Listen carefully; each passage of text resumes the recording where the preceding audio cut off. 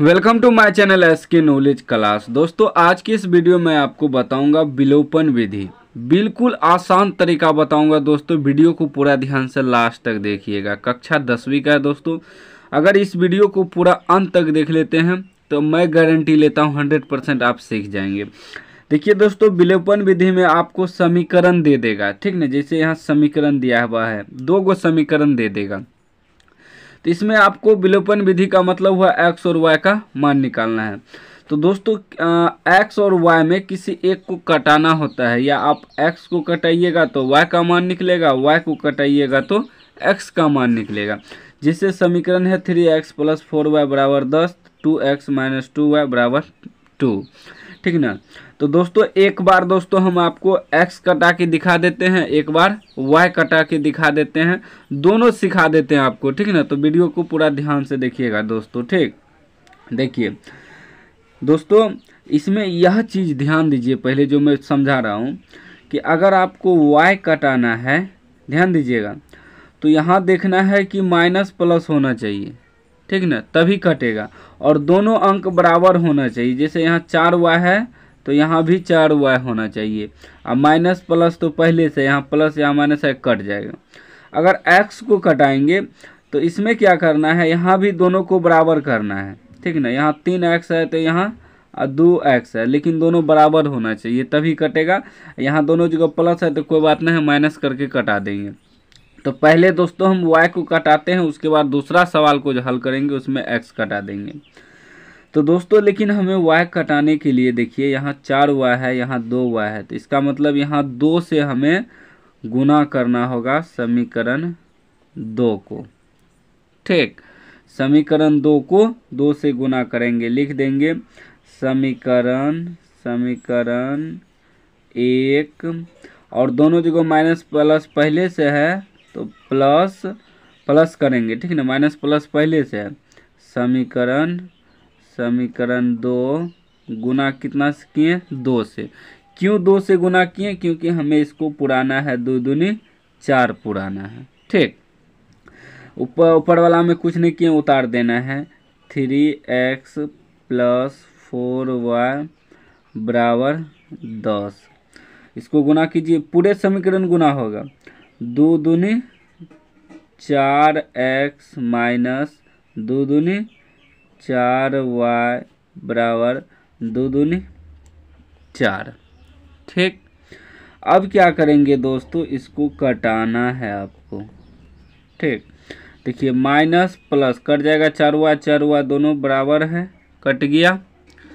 अब यहाँ देखिए, दोनों प्लस है तो क्या हो जाएगा? चार तीन, सात एक्स बराबर। दस, चार, चौदह। ठीक? जब दोस्तों आ, इसको भी कटा सकते देखिए सात दूनी चौदह यानी कि x का मान कितना निकल गया? दो। ठीक। अब दोस्तों क्या करेंगे? ई x का मान समीकरण एक में रख के y का मान निकाल लेंगे। एक में भी रख सकते हैं दो में भी रख सकते हैं कोई दिक्कत नहीं है। लिखेंगे x का मान समीकरण समीकरण एक में रखने पर। ठीक ना? रखने पर आपको लिखना है। समीकरण एक क्या है दोस्तों? Three x plus four y बराबर ten. Three x plus four y बराबर टेन। एक्स का मान हमें दो आया है तो थ्री एक्स के जगह आपको दो रख देना है। प्लस फोर वाई बराबर दस, तीन दूनी, छ हो जाएगा, प्लस चार वाई बराबर दस। उसके बाद देखिए दोस्तों क्या है चार वाई बराबर निकालना है हमें तो चार वाई बराबर लिखेंगे दस, ये उधर जाएगा तो माइनस हो जाएगा छो, क्योंकि इधर प्लस है। तो चार वाई बराबर क्या बच जाएगा, दस में से छः घटेगा चार। अब देखिए दोस्तों, चार एक, चार कट गया y बराबर क्या बच गया? एक। ठीक। अब दोस्तों, x का मान हमें दो निकला और y का मान एक निकला, यही आपका आंसर हो गया। ठीक। अब दोस्तों, हम x कटा के आपको दिखाते हैं। अब दोस्तों, मैंने दूसरा सवाल लिया है। इसमें आपको एक्स कटा के दिखाएँगे। उसमें वाई कटाएँ। एक्स कटाइए या वाई कटाइए आंसर एक ही जाएगा दोस्तों। ठीक ना? इसमें दोस्तों हम एक्स कटा के आपको दिखाते हैं। दोनों हम सिखा देंगे तो आपको आसान रहेगा। तो इसमें देखिए, अगर एक्स को कटाना है तो यहाँ टू एक्स है, यहाँ सिर्फ़ एक्स है। यानी कि दो यहाँ देना पड़ेगा तभी ना कटेगा। तो यहाँ करें क्या समीकरण एक को दो से गुना कर देंगे।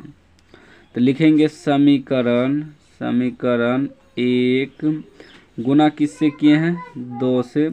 इसमें प्लस नहीं करना है दोस्तों, क्योंकि हम एक्स को कटा रहे हैं। तो देखिए, दो प्लस दोनों जगह पहले से है तो अब हमें यहाँ माइनस करना पड़ेगा, तभी ना माइनस प्लस कटेगा।